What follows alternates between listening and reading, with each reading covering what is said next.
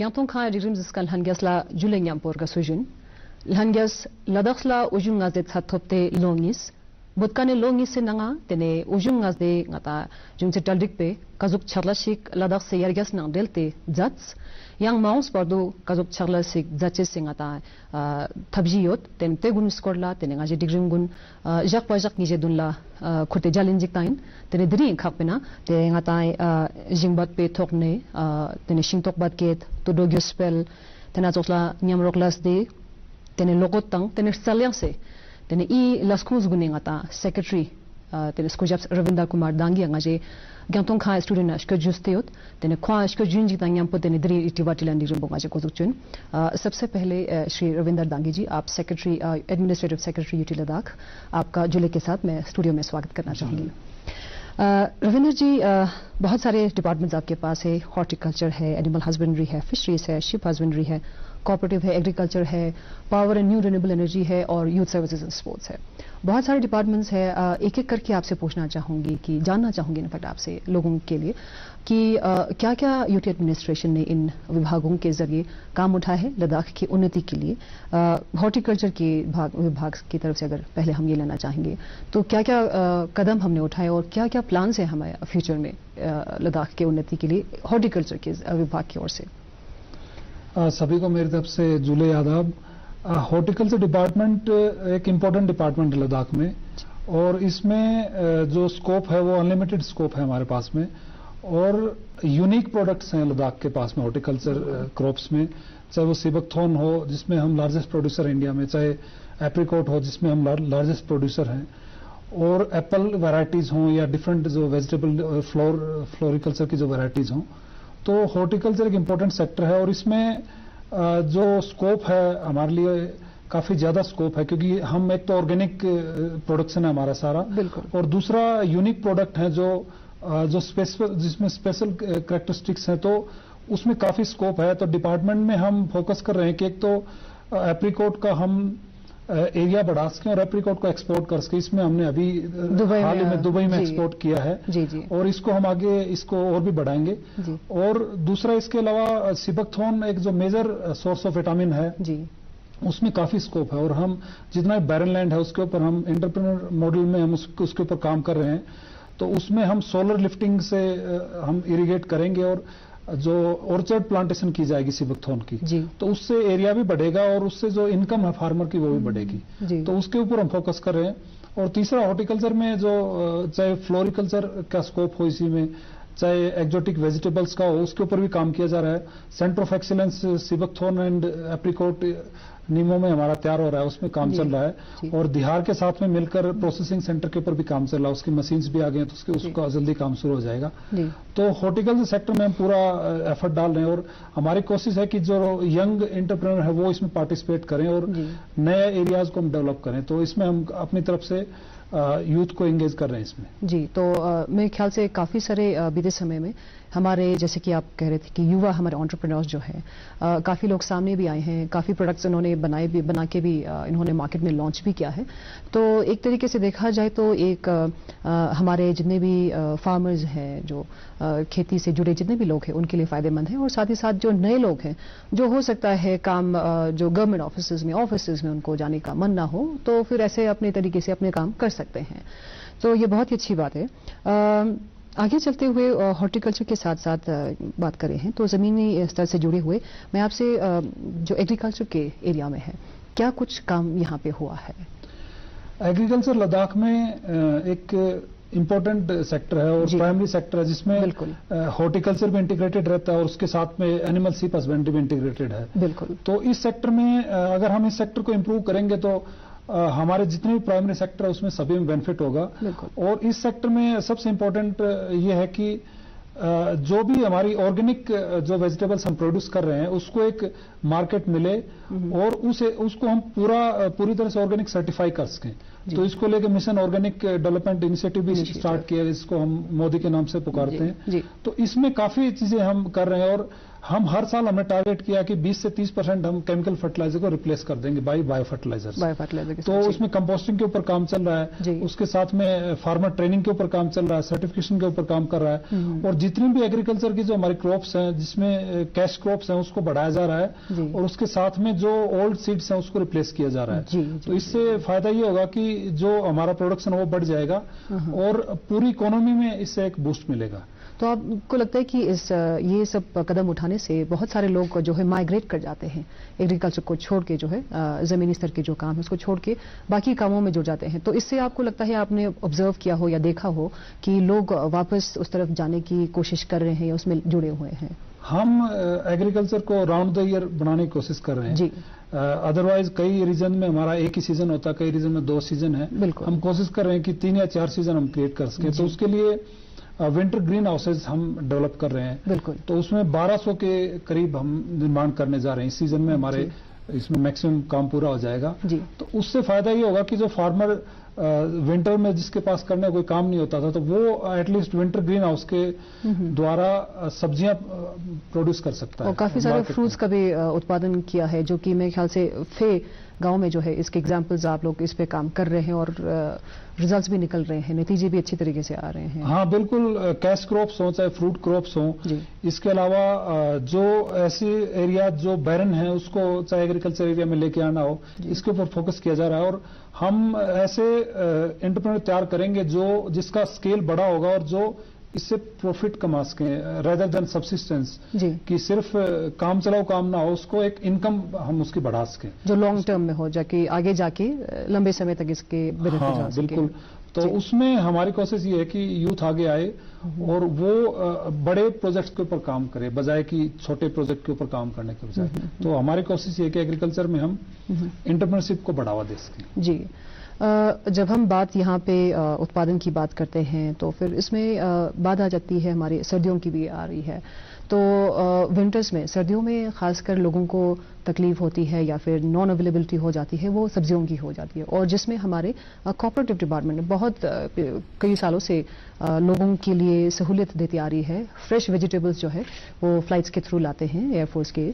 तो किस तरीके से इस साल ऐसा है या फिर कुछ और इसमें आप लोगों ने कुछ प्लान किया हो बीते दो साल में या और कोई प्लान होगा इसके बारे में? हाँ विंटर सप्लाईज एक मेजर चैलेंज है लद्दाख में और खासतौर से पासेज बंद होने के बाद में और फिर टेम्परेचर इतना ड्रॉप हो जाता है कि हमारे प्रोडक्ट भी खराब हो जाते हैं। तो इसमें इस साल काफ़ी चीज़ें चेंज होने जा रही हैं। सबसे पहले तो जो कोल्ड स्टोरेज जिसका निर्माण पिछले साल किया गया था तो वो कोऑपरेटिव मार्केटिंग सोसाइटीज को हमने हैंड कर दिया है। जी। तो उसमें कोल्ड स्टोरेज में इस बार स्टोरेज की जाएगी जो विंटर वेजिटेबल्स होंगी या फ्रूट्स होंगे उसके बारे में। जी। तो एक तो उससे हमें कोई हज़ार टन के करीब हमारा कोल्ड स्टोरेज की कैपेसिटी है। तो एक तो उससे हमें एक सपोर्ट मिलेगा जो स्टोरेज के लिए।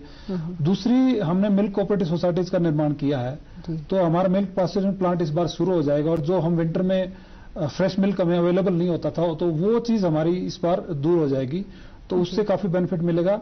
तीसरा विंटर ग्रीन हाउसेज का हमारा निर्माण हो रहा है। हम्म, तो उसमें भी हमारे जो मेन वेजिटेबल्स जैसे लीफी वेजिटेबल हो या आ, बाकी जो वेजिटेबल्स जो हमारे लोकल प्रोड्यूस होते हैं तो वो सारा उसमें प्रोड्यूस होगा। जी। तो उससे भी सप्लाई होगा।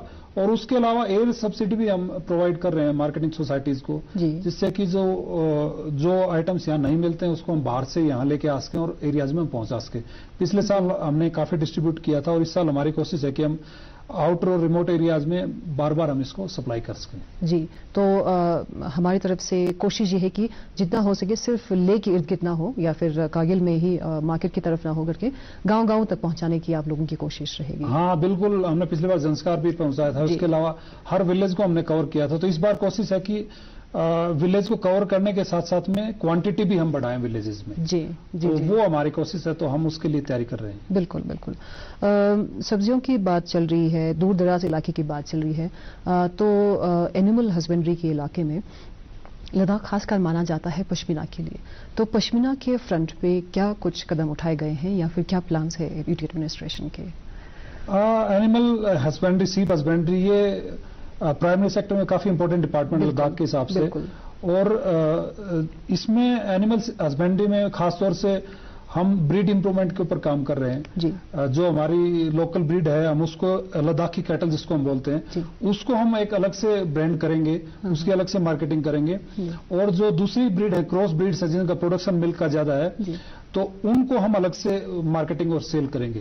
तो एक तो मिल्क प्रोडक्शन हमारा जो एक्सेस में है हमारे यूटी लद्दाख में जिसको हम पाचन ना होने कारण बेच नहीं पा रहे बाहर तो उसमें पाचन प्लांट के बाद मिल्क को हम बाहर चाहे आर्मी को सप्लाई करना हो चाहे मार्केट को सप्लाई करना हो तो उसके ऊपर काम चल रहा है। जी। और क्लस्टर्स बनाए जा रहे हैं मिल्क के लिए हमारे यूटी लेवल पर। तो cluster based milk cooperative societies बनाई जा रही हैं। तो एक तो मिल्क का काफ़ी उसके ऊपर काम चल रहा है। उसके अलावा इस सेक्टर में हम मीट प्रोडक्शन पोल्ट्री प्रोडक्शन इन सब के ऊपर भी हम काम कर रहे हैं जिससे कि जो हमारी इंपोर्ट जो हम करते हैं बाहर से मीट हो चाहे पोल्ट्री हो तो वो हम कुछ लेवल तक हम यहाँ पूरा कर पाए और लोगों को फ्रेश हम चीज़ दे सकें। तो उसके ऊपर भी इंटरप्रेशिप मॉडल में नेशनल लाइफ स्टॉक मिशन के तहत भी हम काम कर रहे हैं। जी जी। तो उसमें कोशिश ये है कि फ़ूड प्रोडक्शन भी हो साथ में इंटीग्रेटेड फ़ार्मिंग भी हो तो सारा चीज़ प्राइमरी सेक्टर में जो भी हमारे एग्रीकल्चर एलाइड सेक्टर हैं सभी में एक साथ मिलकर लोगों को एक हम ऑप्शन दें कि वो एक प्रोजेक्ट बेस्ड एग्रीकल्चर कर सकें जी। तो उसके ऊपर काम चल रहा है अभी। हम्म, तो उसी तरीके से पश्मीना के बारे में जैसे पश्मीना में हम काफ़ी इनिशिएटिव हमने पीछे भी लिया और इस बार भी हम कर रहे हैं। पश्मीना में एक तो हमारा सीएसआईआर के साथ में मिलकर हम साइंटिफिक स्टडी कर रहे हैं। उसके अलावा डी एयरिंग प्लांट का एक मेजर इश्यू था जो काफ़ी सालों से पेंडिंग था। तो पुराने डी एयरिंग प्लांट को हमने रिपेयर किया है और जो नया डी एयरिंग प्लांट है उसको हम रिप्लेस कर मतलब उसका हमने ऑर्डर किया हुआ तो एक नया डी एयरिंग प्लांट लगाने जा तो रहे एक तरीके से देखा जाए तो पश्मीना के से जुड़े भी जितने भी लोग होंगे तो एक नई उम्मीद देख, देख सकते हैं और यूटी एडमिनिस्ट्रेशन की और उनको एक तो अच्छा रेट मिलेगा क्योंकि अगर यहाँ अगर डी एयरिंग होगा तो उनको एक अच्छा हम रेट दे सकते हैं। सोसाइटी और दूसरा उनकी डिपेंडेंसी खत्म हो जाएगी बाहर के ऊपर। जी। और अच्छी क्वालिटी की हम वूल प्रोड्यूस कर पाएँगे जिससे कि हम जो दूसरे मार्केट्स हैं चाहे सेंट्रलेशन मार्केट्स हों उनको भी हम कम्पीट कर पाएँगे। और फ़ायदा उनको डायरेक्टली पहुँचे जैसे वो पहले उनको मिडलमैन के थ्रू बहुत ही कट के आता था और अभी जो है इनको सीधे अ, मिलने के चांसेस हैं क्योंकि मार्केट करने में भी यूटी एडमिनिस्ट्रेशन काफ़ी सहयोग कर रही है। हम चांगथंग कोऑपरेटिव सोसाइटी है जी। उसको हम सपोर्ट कर रहे हैं उसको हमने रिवॉल्विंग फंड भी पीछे तीन करोड़ रुपए दिया है। तो उसको सपोर्ट करने का मकसद ये है कि वो मार्केट में जो हमारे जो भी लोग हैं उनको नुकसान ना उठाना पड़े। तो हम मार्केट में उसमें इंटरवीन करते हैं और एक रेट फिक्स करने में काफ़ी हेल्प मिलती है तो उनको एक बेटर रेट हम प्रोवाइड करवा रहे हैं उसके जी जी।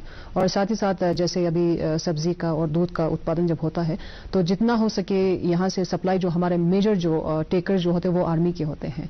तो वहाँ तक भी पहुँचाने में यूटी एडमिनिस्ट्रेशन बहुत ज़ोर लगा रही है कि ज़्यादातर जो सप्लाई जितने भी यहाँ से प्रोड्यूस होता है वो आर्मी तक पहुँचे तो मेजरली यहाँ से ही उठाया जाए उसको दिया जाए। राइट सर जब इसकी बात करते हैं बहुत सारी ऐसी बातें हैं और इससे रिलेटेड हमारे फिशरीज का भी डिपार्टमेंट है। तो इस विभाग की ओर से या फिर इस डायरेक्शन में भी काफ़ी सारे काम हमारे डिपार्टमेंट कर रही है। तो इसमें क्या क्या कुछ आप इसके बारे में हाईलाइट करके बताना चाहेंगे? फिशरीज में लद्दाख में मेनली ट्राउट स्पीसीज हैं और लोकल स्नो ट्राउट हो या फिर जो हमारी रेनबो ट्राउट है। मेनली ट्राउट स्पीसीज हमारी ज़्यादा है फिशरीज में। जी। तो उसमें हम प्रधानमंत्री मत्स्य संपदा योजना में काफ़ी काम कर रहे हैं। हमने पिछले साल भी 20 इंटरप्रेनर को हमने तैयार किया उसमें। इस साल भी हम 50 से ज़्यादा इंटरप्रेनर को हम तैयार कर रहे हैं। और इसमें काफ़ी अच्छा स्कोप है क्योंकि इसमें ले और करगिल में काफ़ी शॉर्टेज है फ़िश की। और डिमांड काफ़ी ज़्यादा है चाहे वो आर्मी की तरफ़ से हो चाहे टूरिज़्म की तरफ़ से हो। और एक फ़िश एक अच्छा प्रोटीन सोर्स है अगर हम उसको यूज़ करते हैं। तो उसमें हमने एंटरप्रेन्योर्स को तैयार किया और पिछले साल और इस साल मिला के लगभग सत्तर के करीब हमारे एंटरप्रेन्योर तैयार हो रहे हैं और इनको काफ़ी अच्छा इनकम होगा क्योंकि फिशरी एक ऐसा सेक्टर है कि जिसमें कम एरिया में हम ज़्यादा इनकम कर सकते जी हैं। जी जी। तो और काफ़ी सक्सेसफुल मॉडल्स इसके हैं हमारे पास में। तो उसके ऊपर हम काम कर रहे हैं और हम ट्राउट फ़ीड मिल भी हम यहीं पे बनाने जा रहे हैं और उसके अलावा ट्राउट सीड, मिल भी हम तैयार कर रहे हैं। तो फिशरी का इंफ्रास्ट्रक्चर है वो माननीय मंत्री जी के ने जो पीछे दौरा किया था उसके दौरान भी उन्होंने काफ़ी अनाउंसमेंट की है। तो हमें सेंटर से में इसमें काफ़ी अच्छा सपोर्ट मिल रहा और जो भी हमारी पुरानी डिमांड रही है जो 15-20 साल से वो इसमें पूरी होने जा रही है। और फिशरी का जो प्रोडक्शन हम अगले पाँच साल में लगभग दस गुना यहाँ पर लद्दाख में करने का हमारा प्लान है। जी, जी, तो उसी को लेकर काम चल रहा है। एक बात जहन में ही आ रही है रविंद्र साहब कि कोऑपरेटिव सोसाइटीज में न सिर्फ़ सब्जियों का जो फैसिलिटी हम करते हैं विंटर के दौरान में वैसे भी रोज़मर्रा की ज़िंदगी में जितने भी कंज्यूमर गुड्स है रोज़मर्रा के जो चीज़ें हैं उसके विभाग उस डायरेक्शन में भी कॉपरेटिव बहुत अच्छा काम करती आ रही है। तो इसमें कुछ इजाफा है या फिर आपको लगता है इंप्रूवमेंट करने की ज़रूरत है? क्या आपने ऑब्ज़र्व किया है इसके बारे में? इसमें हम काफ़ी चीज़ें इस साल में हमने शुरू की है। एक तो जो हमारे सुपर बाज़ार हैं उसको हम मॉडर्न उसके ऊपर तर्ज के ऊपर काम कर रहे हैं उसमें। तो उसमें लोगों को हम जो मार्केट है उससे 15 से 20 परसेंट हम उसमें छूट देते हैं जिससे कि लोगों को एक अफोर्डेबल रेट के ऊपर अच्छी चीज़ मिल सके बिल्कुल। उसके अलावा हमारी जो कंज्यूमर आउटलेट्स हैं जो डिफरेंट एरियाज़ में चाहे ब्लॉक्स में सब डिवीज़न में तो उसको भी उसका निर्माण किया जा रहा है और उसमें उससे हमारे रिमोट एरियाज़ में हम अच्छे प्रोडक्ट को हम लोगों को सप्लाई कर सकेंगे। तो उसके ऊपर काम चला उसके अलावा ट्रेडिशनल स्टोरेज के ऊपर भी हम काम कर रहे हैं। जी। तो ओवरऑल डिपार्टमेंट का मकसद ये है कि लोगों को क्वालिटी की चीज़ें और हम अच्छे दाम के ऊपर उपलब्ध करा सकें। और साथ ही साथ मेरे ख्याल से कॉपरेटिव एक ऐसा विभाग है जो कि दूर दराज इलाकों में भी अपने स्टोर्स इनका है। और यहाँ पे हमारे कंज्यूमर गुड्स और भी इजाफा हो सकता है वहाँ पे ताकि लोगों को जितना हो सके ज़्यादा चीज़ें जो है कम दामों में मार्केट हाँ, प्राइस से कम दामों में मिले। रविंदर जी, बात जब विंटर की होती है, बहुत सारे प्रॉब्लम्स होती है लद्दाख में जब सर्दी की बात होती है। खासकर मेन रहता है हमारा पावर का, यानी कि इलेक्ट्रिसिटी का, बिजली का। तो इस इसको इसके बारे में आपको, आपके सामने सवाल रखने से पहले ये जानना चाहूँगी जो कार्बन न्यूट्रल के बारे में, जो हमारे माननीय प्रधानमंत्री श्री नरेंद्र मोदी जी चाहते हैं कि उनका एक विजन है कार्बन न्यूट्रल लद्दाख करके। तो इसके बारे में क्या आप लोगों को बताना चाहेंगे इस प्रोग्राम के माध्यम से? कार्बन न्यूट्रल अगर लिटरेरी टर्म में हम इस, अगर इसको देखते हैं तो इसका मीनिंग यही है कि हम कार्बन जितना प्रोड्यूस करते हैं तो उतने कार्बन हमारा सिंक होना चाहिए। तो ओवरऑल हमारा जो ज़ीरो कार्बन फुटप्रिंट हमें छोड़ना है कोई भी हम एक्टिविटी अगर कर रहे हैं हम किसी भी काम में तो लद्दाख में अच्छी चीज़ ये है कि यहाँ पॉपुलेशन डेंसिटी कम है और इतना ज़्यादा हमारी एक्टिविटीज़ नहीं है तो हम लद्दाख में कार्बन न्यूट्रलिटी हम आसानी से अचीव कर सकते हैं। जी। तो उसमें मेनली हमारे जो मेन प्रॉब्लम हो वो पावर सोर्सेज हैं जिसमें हम हीटिंग के लिए कई बार डीजल का यूज़ करते हैं exactly. किरोसिन का यूज़ करते हैं exactly. या फिर वुड का यूज़ करते हैं या फिर जो हमारे व्हीकल्स हैं उन, उनसे जो फोसिल फ्यूल बर्निंग होती है तो उससे काफ़ी ज़्यादा कार्बन प्रोड्यूस होता है। और लद्दाख में इसका कंसेप्ट का इंपॉर्टेंस ये है कि लद्दाख एक सस्टेनेबल अगर इसको इकोसिस्टम को अगर हमें सस्टेन करना है तो यहाँ बहुत इंपॉर्टेंट है क्योंकि लद्दाख का जो इकोसिस्टम इतना फ्रजाइल है। हाँ और दूसरा यहाँ जो ग्लेशियर्स हैं बिल्कुल। यहाँ पर जो रिवर्स हैं वो पूरे इंडिया का मतलब उसको कंट्रोल करते हैं। जो, जो। चाहे ड्रेनेज सिस्टम है उसको। बिल्कुल बिल्कुल। तो इसमें बहुत इंपॉर्टेंट है। अगर हम इस एरिया को अगर नहीं बचाएँगे तो जो बाकी जो एरियाज़ है वो भी अफेक्ट होंगे इससे। बिल्कुल। तो इसके लिए सबसे इंपॉर्टेंट ये है कि जितना भी हम कार्बन प्रोड्यूस कर रहे हैं उसको हम रिड्यूस करें और अगर हम ज़्यादा कार्बन प्रोड्यूस भी कर रहे हैं उसको तो उसको कहीं ना कहीं हम सिंक करें और इतना ज़्यादा हम क्लीन एनर्जी प्रोड्यूस करें जिससे कि हम दूसरे एरियाज़ का कार्बन को भी ऑफसेट कर सकें। जी, जी, जी, तो उसके ऊपर काम चल रहा अभी। जी। और लद्दाख में 35 गीगावाट का पोटेंशियल है हमारे पास यहाँ आरी सेक्टर का। जी। तो जिसमें मेनली विंड और सोलर के ऊपर हम काम कर रहे हैं। और जिसके बारे में एमओयूज भी साइन हो चुके हैं काफ़ी सारे। लद्दाख में आ, हर तरह का रिन्यूएबल एनर्जी सोर्सेज अवेलेबल है। जी। चाहे वो जियो थर्मल हो उसके ऊपर भी काम चल रहा है। उसके अलावा ग्रीन हाइड्रोजन का एक पायलट प्रोजेक्ट भी हम यहाँ प्लान कर रहे हैं। जी। तो उससे हाइड्रोजन बसेज यहाँ रन करेंगी। जी। तो उसके साथ में हाइड्रो की भी यहाँ काफ़ी कोई 2000 मेगावाट का हमारे पास पोटेंशियल है। तो उसके उससे भी हम लोगों को सप्लाई कर सकते हैं पावर को।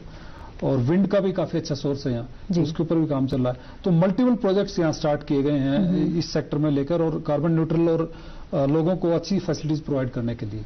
तो मुझे लगता है कि अगर हम इनिशिएटिव्स को अगर कंप्लीट करेंगे तो हमें काफ़ी बेनिफिट होगा इससे।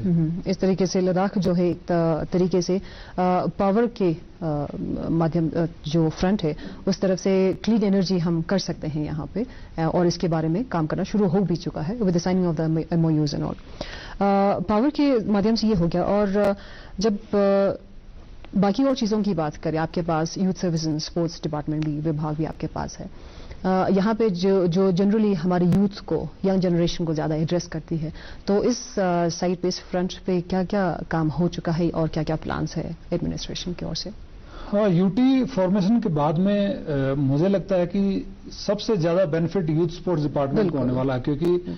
अ, हमने जो इनिशिएटिव लिए हैं यूथ स्पोर्ट्स डिपार्टमेंट में वो पिछले कई सालों की से कई गुना ज़्यादा मतलब उसमें इन्वेस्ट किया जा रहा है। बिल्कुल, बिल्कुल। और खासतौर से जो स्पोर्ट्स इंफ्रास्ट्रक्चर डेवलपमेंट है उसमें प्राइमरी स्कूल लेवल से लेके यूनिवर्सिटी लेवल तक हम प्लान कर रहे हैं। हर एक स्कूल में कोई ना कोई हम स्पोर्ट्स के लिए फैसिलिटी हम क्रिएट कर रहे हैं इक्विपमेंट्स प्रोवाइड कर रहे हैं। उसके अलावा हमारे यहाँ ट्रेडिशनल गेम्स हैं आर्चरी हर एक हायर सेकेंडरी स्कूल में आर्चरी इंफ्रास्ट्रक्चर हम तैयार कर रहे हैं। जी। उसमें इक्विपमेंट हम प्रोवाइड कर रहे हैं। जी। आइस हॉकी एक मेजर गेम है लद्दाख का जिसमें जो लद्दाख की नेशनल टीम में भी हमारा काफ़ी इंपॉर्टेंट रोल है। तो आइस हॉकी हर ब्लॉक लेवल पर हर, हर सब डिवीज़न लेवल के ऊपर आइस हॉकी रिंग्स का निर्माण किया जा रहा है। जी। और वो आउटडोर रिंग्स होंगे मेनली हमारे लगभग 50 रिंग तैयार हो जाएँगे आइस हॉकी के लिए। और हम लगभग हज़ार प्लेयर हमारे तैयार हो जाएँगे जो हज़ार प्लेयर्स का पूल होगा हमारे पास में बहुत बढ़िया। जो आगे आके मतलब नेशनल लेवल पर कम्पीट करेंगे। बिल्कुल। और उसके अलावा जो दोनों हमारे ले एंड कारगिल डिस्ट्रिक्ट हेडक्वार्टर हैं जी। उसमें आइस हॉकी रिंग्स को हम 24 फोर बाय सेवन करने जा रहे हैं उसमें। अच्छा। तो अच्छा। उसके ऊपर काम भी शुरू हो गया दोनों में। जी। तो हमारे बच्चे जो सिर्फ़ तीन या चार महीने आइस हॉकी खेल पाते थे पहले जी। वो पूरे साल प्रैक्टिस करेंगे उसके बाद। ज़्यादा ज़रूरी है जी। हाँ तो उससे हमारा आइस हॉकी और अल्टीमेट जो मेरा ड्रीम है वो ये है कि लद्दाख की टीम विंटर ओलंपिक्स में जाए कभी जी। और वहाँ से मेडल लेके आए मतलब इंडिया के लिए। बिल्कुल बिल्कुल तो बिल्कुल। उसको लेकर हम काम कर रहे हैं। वही हमारा फोकस है कि विंटर गेम्स जो हमारी स्ट्रेंथ है उसको हम आगे बढ़ाएँ जी। और उसी में बच्चों को हम ज़्यादा ट्रेन करें। बिल्कुल बिल्कुल। आइस हॉकी ये हो गया। अ, मेरे ख्याल से अभी अ, हमारे मैराथन जो स्टेडियम्स जो बन रहे हैं उसके बारे में क्या आप कहना चाहेंगे? आ, उसमें खेलो इंडिया की तरफ़ से मिनिस्ट्री ऑफ़ यूथ स्पोर्ट्स की तरफ़ से हमें इसमें काफ़ी सपोर्ट मिल रहा और इसमें काफ़ी चीज़ें हमारी पूरी होने जा रही है। इसमें एक इंटरनेशनल सिंथेटिक ट्रैक भी हमारा तैयार हो रहा है। जी। एस्ट्रोटॉप फुटबॉल भी हमारा तैयार होने जा रहा है। और यही फैसिलिटी हम करगिल में भी क्रिएट करने जा रहे हैं। जी बिल्कुल। और इंडोर स्टेडियम भी हमारा तैयार हो गया। इसके अलावा अ, हर स्पोर्ट्समैन को जिम की ज़रूरत पड़ती है। तो जिम्नेजियम भी हम ले और करगिल दोनों में हम तैयार करने जा रहे हैं। उसके अलावा लद्दाख में हम बाहर ज़्यादा गेम्स नहीं कर सकते तो इंडोर स्पोर्ट्स स्टेडियम हम ले और करगिल दोनों में डेवलप करने जा रहे हैं। जी। तो फोकस है कि जितनी भी जो वर्ल्ड क्लास फैसिलिटीज़ हों वो हम डिस्ट्रिक्ट हेडक्वार्टर के ऊपर हम क्रिएट कर सकें जिससे कि हमारे बच्चे यहाँ ट्रेन कर सकें और आगे पार्टिसिपेट कर सकें। जी जी जी जी। तो बहुत सारे ऐसे काम है जो करने के लिए है। और पहले भी आप लद्दाख पहली बार आप नहीं आए हैं। आप नूबरा में एसडीएम के पद पे भी रहे हैं। आप काम ने किया बहुत कुछ। तो क्या कुछ लगता है कि उस वक्त में और इस जो अभी यूटी एडमिनिस्ट्रेशन का जो केंद्र शासित का जो दर्जा मिला है तो उसमें क्या लगता है काम करने में कोई अंतर है या आपको क्या लगता है कि ज़्यादा इसमें चांस हाँ? डिफरेंस पिछले सात आठ साल में डिफरेंस ये हुआ है कि pace of work multiple times हो गया है। जी। मतलब जो चीज़ हम पहले मतलब फंड की शॉर्टेज थी या प्लानिंग की जी। अब एक्सपेक्टेशन भी लोगों की बढ़ गई है और हमारा पेस है वो भी काम का बढ़ गया है। बिल्कुल। पहले पाँच छह महीने काम होता था अब आठ नौ महीने काम हो रहा है अभी। और हम कोशिश कर रहे हैं कि ये बारह महीने तक हम इसको लेके जाएँ। तो अब काम करने का पेस बढ़ गया और क्वालिटी भी काम का इंप्रूव हो रहा है। और हम कैपेसिटी बिल्डिंग के ऊपर भी काफ़ी फोकस कर रहे हैं कि स्टाफ की कैपेसिटी बिल्डिंग हो जिससे कि आगे हम अच्छा रिज़ल्ट लेके आ सकें। और अब जो प्लानिंग हो रही है वो लॉन्ग टर्म प्लानिंग हो रही है। पहले हम शॉर्ट टर्म प्लानिंग करते थे और एक काम तीन तीन चार चार पाँच पाँच छह छह साल चलता रहता था। जी। तो अब प्लानिंग का मकसद ये है कि शॉर्ट टर्म प्लानिंग और projects with in time complete हो। आ, बहुत सारी अच्छी बातें आपने कही है और हम आशा करते हैं कि जितने भी आप आ, काम जो है आपने लिया है तो हर काम जो है पूरा हो और आपका जो सपना है कि जो हमारे स्पोर्ट्समैन जो है यहाँ से जाए और लद्दाख का और भारत का नाम रोशन करके इंटरनेशनल लेवल पे इनाम लेके आए। तो हम दुआ करते हैं कि आपकी जो आशा है कामना है हमारी भी है आपके साथ जो दुआ है तो वो पूरी हो। जल्द हम देखना चाहेंगे कि लद्दाख का नाम जो है रोशन करे इंडिया का नाम रोशन करे। आप समय निकाल के यहाँ पधारे आपका बहुत बहुत धन्यवाद आ, Memanglan तेने tene kazuk uh, tene skujab Ravinder Kumar Dangi moladzats tene uh, laga yot nuk tene tena chaglas dadin jik tang kazuk nga ta chaji jik somar yot maus ladak sin nga kazuk nga ta thabling yot teo jat UT administration chaglas justice in school ma jip sal dumala jas ngi ja thama thukhen te do tene rewa chun tene ikane ma shesga digzam ngi ja chupa lep te do ina ah, rewa na nyam pungi gospa jun jule